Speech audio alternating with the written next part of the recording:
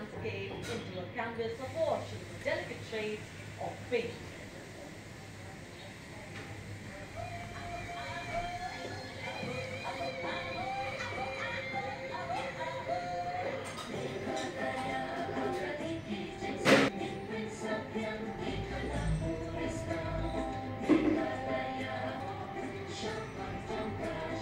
Thank you.